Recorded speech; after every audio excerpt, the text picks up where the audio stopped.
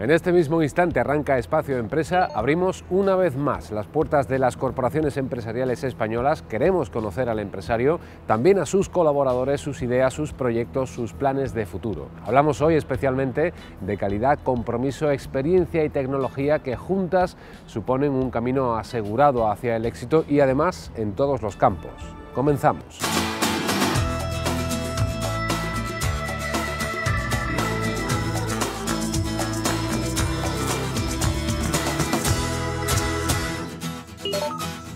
En Espacio Empresa conoceremos a la empresa Carrocerías Daffer, dedicada a la personalización de unos vehículos muy particulares, los que realizan transporte frigorífico.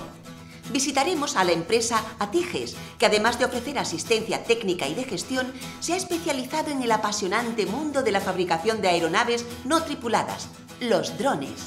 Y pasaremos un día en el Hospital La Arruzafa, una clínica de oftalmología que cuenta con la más avanzada tecnología y que aúna tratamientos y asistencia con una labor social admirable. Todo esto aquí, en Espacio Empresa. Eficiencia, calidad y experiencia. 40 años de experiencia. Son los tres ejes en los que la firma Duffer, dedicada al diseño de carrocerías para vehículos industriales, basa su actividad. Soluciones personalizadas para clientes que también transportan un compromiso de calidad exigido por el público final.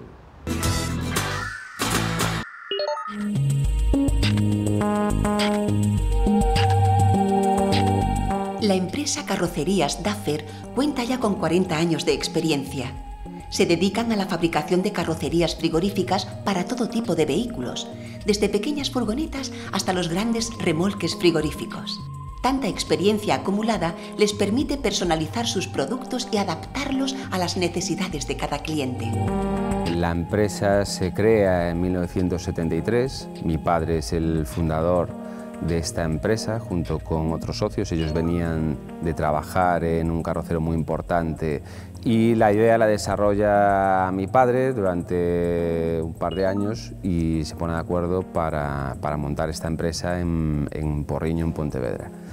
Los comienzos, como todo, pues son muy complicados. Eh, el sector estaba naciendo, precisamente porque las tecnologías aún estaban sin desarrollar, pues eh, eran todo un banco de pruebas.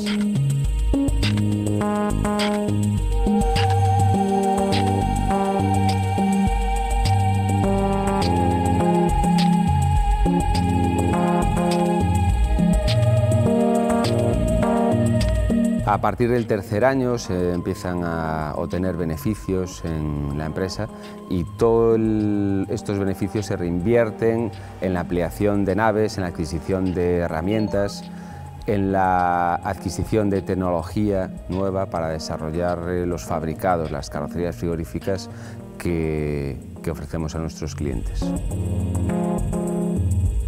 Nuestros clientes son cualquier eh, cualquier empresa o autónomo que necesite de realizar un transporte a temperatura controlada, con unas condiciones de higiene determinadas y con seguridad.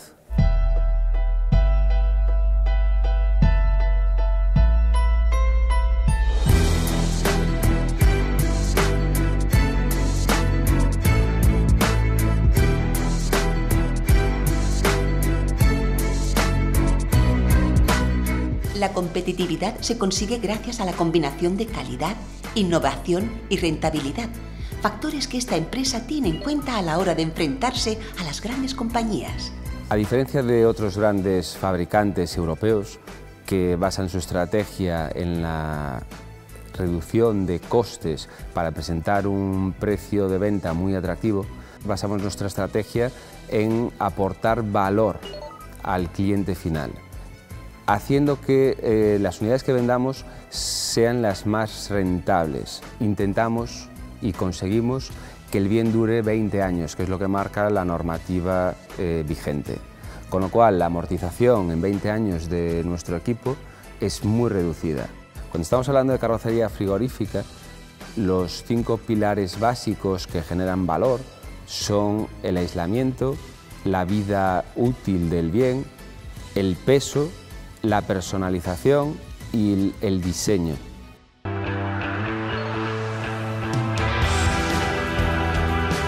Los buenos empresarios saben que la innovación es la llave que abre la caja de las oportunidades.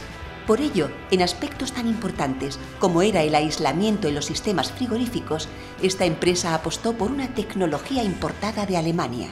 Con el paso del tiempo la mejoraron y hoy sus carrocerías son conocidas en el sector por su excelente aislamiento hermético, su resistencia y la estabilidad del núcleo.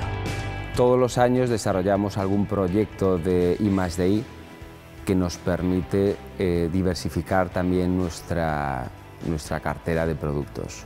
Nuestro plan de futuro es desarrollar una carrocería en kit que podamos exportar con un coste muy reducido a cualquier parte del mundo, que se ensamble muy fácilmente para poner nuestros productos en diferentes continentes.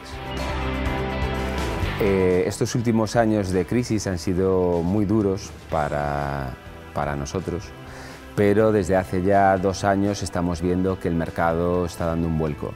Eh, en los últimos años hemos tenido crecimientos de hasta un 80% en facturación, lo que nos ha permitido contratar personal nuevo y llenarnos de motivación para, para continuar este camino.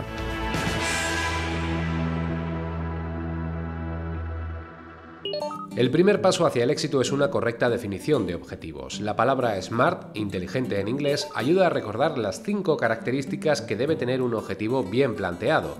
Specific, específicas, measurable, medibles, ambitious, ambiciosas, realistic, realistas y timed, acotados en el tiempo. La definición de estos objetivos está bastante extendida en el ámbito empresarial y suele explicarse en escuelas de negocios.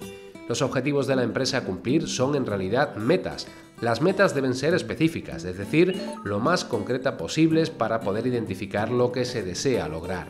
También deben ser medibles para poder saber si está cumpliendo lo que se había propuesto. Al medir un objetivo, puede compararlo con la planificación y decidir, en caso de desviaciones, qué medidas extra puede tomar. La tercera característica es que las metas deben ser acordadas. Si sus objetivos involucran a varias personas, debe hablarlo con ellos y lograr su compromiso. Además, tendrán que ser realistas y dentro de las propias posibilidades de la empresa. Proponerse algo irrealizable es una puerta abierta al fracaso. Finalmente, las metas estarán acotadas en el tiempo, es decir, se establecerá un plazo dentro del cual se debe cumplir el objetivo. Qué difícil es tomar decisiones. Y qué difícil es todavía tomar decisiones acertadas. Tomar decisiones requiere asumir riesgos y es una capacidad psicológica importantísima la de los líderes, la de los directivos de empresas, ser capaces de asumir esos riesgos y ser capaces de llevar adelante sus decisiones. Toda la teoría económica de la toma de decisiones se queda chica ante la realidad. Esos riesgos que se asumen con a veces verdadero pánico porque van a llevar a la empresa al éxito o al fracaso. Pero lo que tenemos muy claro es que la peor decisión es la que no se toma. El no tomar decisiones, eso sí que representa una muerte casi segura en las organizaciones. Qué difícil es, qué importante es. Tomemos decisiones, asumamos riesgos y si es necesario que nos acompañe un coach en este procedimiento. Pero nuestro respeto, chapó, por aquellas personas que todos los días son capaces de tomar decisiones. Nos vamos ahora al aire, pero no en un sentido televisivo, sino en el real, porque les hablamos de una empresa, Atiges, que utiliza drones, aparatos aéreos de radiocontrol para sus tareas de inspección técnica de proyectos de ingeniería, lo que supone una auténtica revolución en un campo que requiere de altísima precisión en el control de procesos.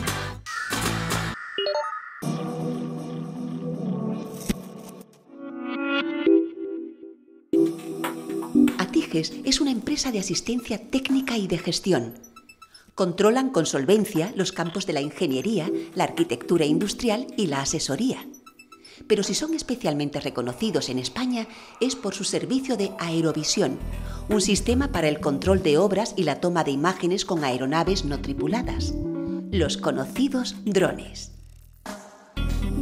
La empresa se creó en el 2011 y empezamos de los orígenes a compaginar la actividad de ingeniería eh, tradicional con la actividad de los vehículos aerotripulados. Poco a poco empezó a coger peso la, línea de, los vehículos no tripulados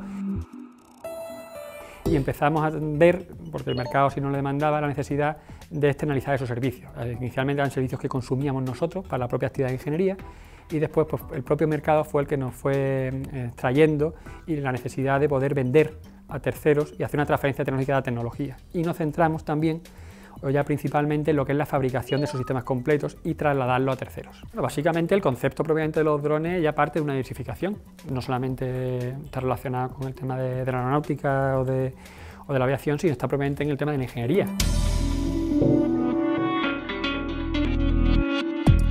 Somos ingenieros de distintas disciplinas, somos multidisciplinares, pero estábamos enfocados en la obra.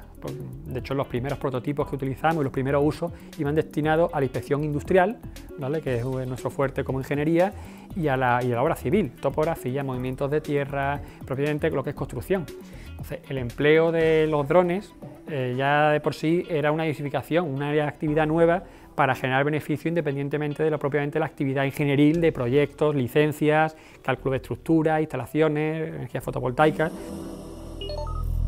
Los drones, cada vez más demandados por diferentes sectores, se han convertido en los últimos años en una herramienta tecnológica con multitud de usos.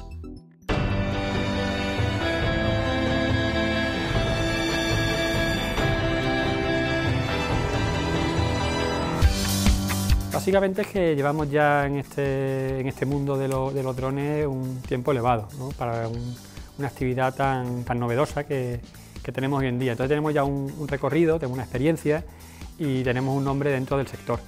Y si hay que destacar algo, es básicamente el tener un sistema completo. Nosotros nos centramos mucho en el cliente, la solución que el cliente necesita, donde el dron es una parte de esa solución que el cliente quiere. Bueno, lo que más nos alaban nuestros clientes es el servicio que prestamos.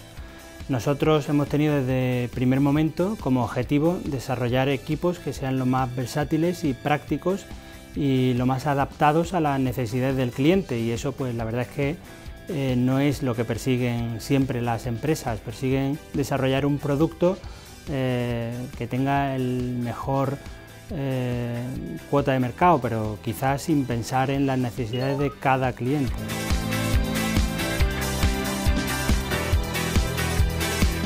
En empresas tan innovadoras es fundamental compartir la investigación con tecnólogos externos. Gracias a esa sinergia pueden satisfacer las nuevas exigencias de los clientes. Solo así un buen producto puede convertirse en un producto excelente. Necesitamos también involucrar también a la universidad. Eh, tenemos acuerdos de colaboración con, tecnólogos porque entendemos que la fórmula de investigadores, eh, empresa privada, nosotros como expertos en el mundo de la navegación no tripulada y clientes finales que son los que demandan tu producto, es una unión muy fuerte que al final va a dar un producto de calidad asegurada, porque el propio cliente es el que te va a ayudar y el que te va a exigir. Nuestra parte en ese sentido es muy, muy positiva. Queremos tener siempre un producto de máxima calidad y no nos importa que nos exijan que no, porque al final eso es la clave del éxito.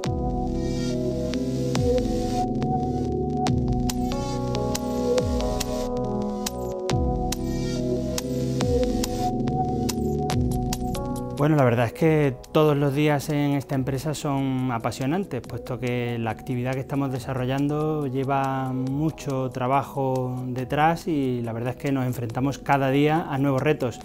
Y bueno, lo bueno y lo importante es que todos los días llegas a casa quizá con la satisfacción de haber conseguido algunos de los retos que te habías propuesto y otros pues quizá no, pero eso es lo, lo bonito, ¿no? Al menos intentarlo.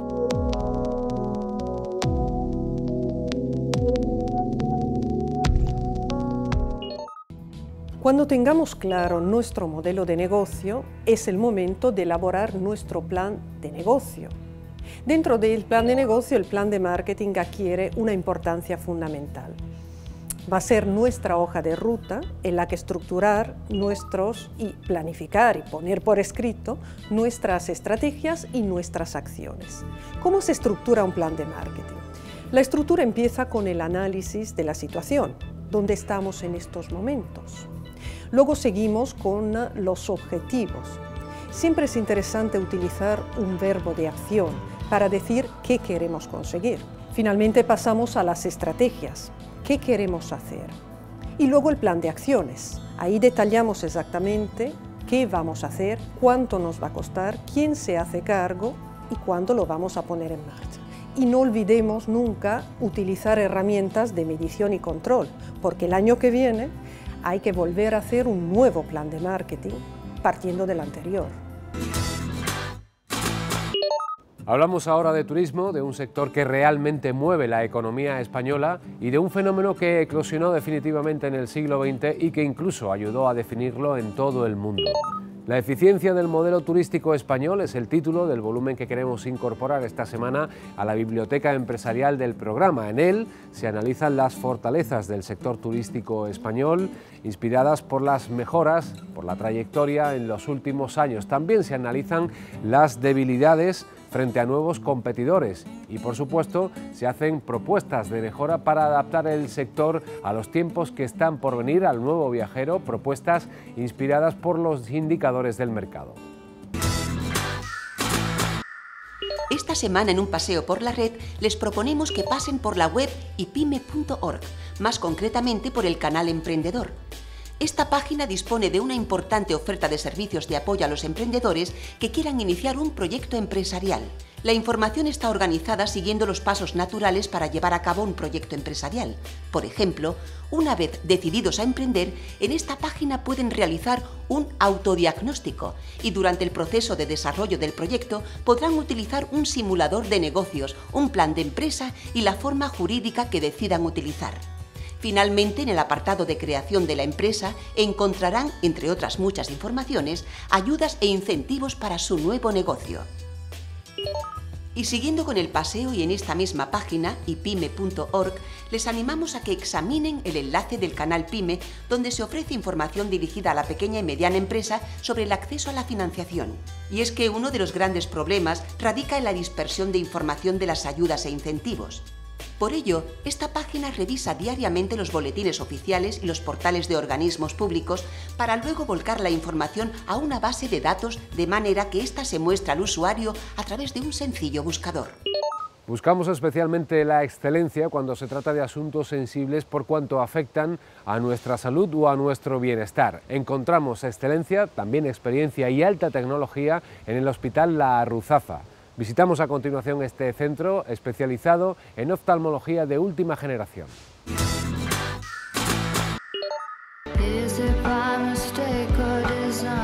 En los años 90, dos oftalmólogos de Córdoba decidieron unir sus consultas y crear su propio negocio. Con una clara visión empresarial y conociendo el nicho de mercado que querían cubrir, se aventuraron a inaugurar un pequeño hospital oftalmológico, la Arruzafa. Los inicios de la empresa todo viene de, una consulta de, de, dos oftalmólogos y se traslada desde el centro de Córdoba a unas instalaciones mucho más amplias, en una zona residencial donde el paciente se encuentre más a gusto. Los bancos confiaron en nosotros y apostaron por nosotros por una idea, pero los socios no eran ricos ni, tenían dinero, entonces ah, los bancos apostaron por nosotros y empezamos poco a poco, empezamos con un equipo mm, con mucha ilusión y, luego pues todo mm, lo que se ha ido generando ha hecho el, el crecimiento y que podamos embarcarnos en, técnicas y en procedimientos mucho más potentes.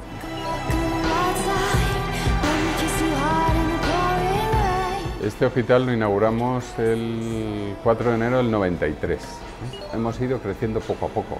Empezamos siendo 14 o 15 trabajadores de todos los campos y ahora estamos más de 90 y, vamos a crecer más. Y conforme hemos ido avanzando, pues se hizo otro edificio, empezamos con uno, se hizo otro y ahora estamos terminando el tercer edificio.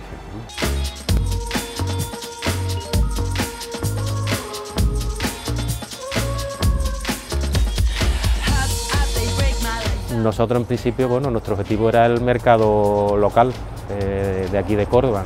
Lo que pasa, bueno, pues a medida que fuimos creciendo, que fuimos haciendo yo creo que bien las cosas, pues hemos ido creciendo y bueno, ya creo que a nivel de Andalucía ya somos una referencia, nos vienen pacientes de todo el ámbito andaluz. Lo que queríamos es hacer un servicio de oftalmología, llegar a todas las especialidades, hacer procedimientos técnicos de vanguardia, estar al día, hacer un equipo humano muy grande, con ópticos, con enfermería, con auxiliares, con administradores, con economistas. Entonces, hacernos un hospital de oftalmología y eso es lo que iniciamos y esa era la ilusión que teníamos. La reinversión continua, tanto en instalaciones como en innovación tecnológica, le ha permitido crecer como empresa. Hoy se encuentra en su tercer proceso de ampliación y valora su capital humano como uno de sus mejores activos. Los cinco o seis primeros años fueron unos años bastante duros porque hubo que hacer una, inversión importante. También es verdad que cuando llevamos ya 10 años, eh, nuestro proyecto se nos quedó pequeño y tuvimos que hacer una ampliación y ampliamos a un nuevo, a un nuevo edificio. Para nosotros otro activo muy importante dentro de nuestro centro es eh, nuestro capital humano. Eh, ya somos aquí casi 100 trabajadores que trabajan exclusivamente aquí en este, en este centro. Y yo creo que uno de nuestros grandes éxitos es el grupo humano que tenemos aquí a todos los niveles. Tenemos tres oftalmólogos, pero de esos tres oftalmólogos luego cuelga el resto de personal, de optometristas, enfermeras, auxiliares, administrativos, mantenimiento. Y yo creo que hemos dado con, un grupo de, de personas y dan todo lo que ellos tienen para que esto, para que esto salga adelante.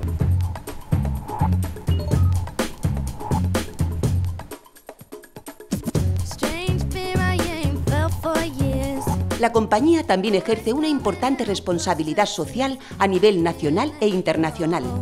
Bueno, yo creo que, casi todos los empleados de la, empresa estamos muy orgullosos de tener una empresa que, que, al final parte de su ingreso y parte de su beneficio revierte en, una actividad social. ¿vale? En eso estamos, yo creo que en general todo el mundo está muy orgullosa porque además somos partícipes de ello, unos de una manera y otros de otra. ¿no? Unos participamos pues eh, con formación, otros participamos viajando, otros participamos haciendo una labor diaria aquí y bueno, yo creo que estamos muy contentos, ¿no? porque al final nuestro, lo que nosotros hacemos revierte en la sociedad. ¿no?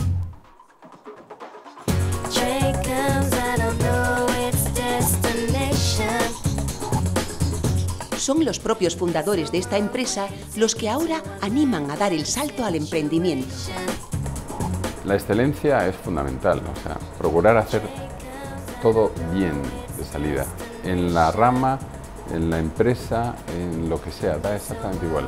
Si hacemos las cosas bien y con honradez, eh, que es muy importante y que lo, intentamos desde luego por todos los medios, yo creo que el éxito de cualquier empresa con esfuerzo y aunque haya, se necesite tiempo está asegurado.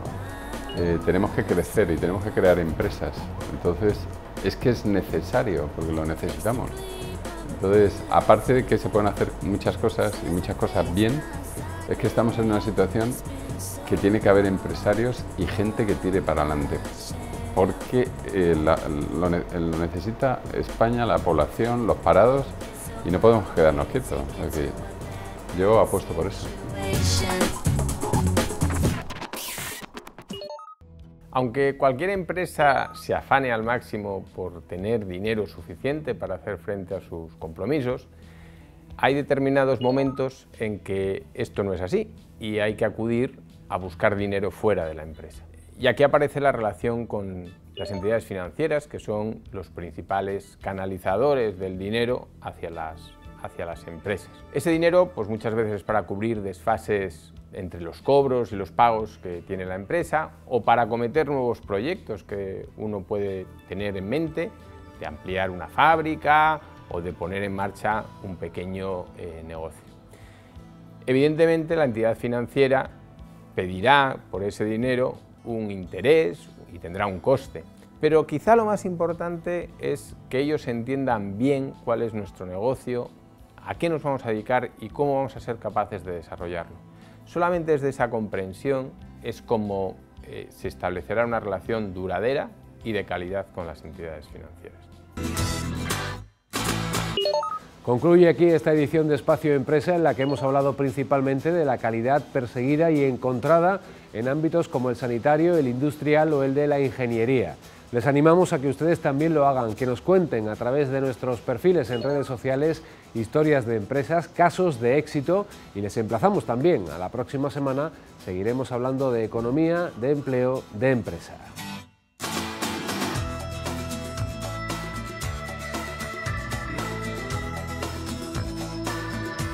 Las empresas que intervienen en este espacio han sido beneficiarias del programa Redes de Innovación al Servicio de la Competitividad de EOI, cofinanciado por el Fondo Europeo de Desarrollo Regional.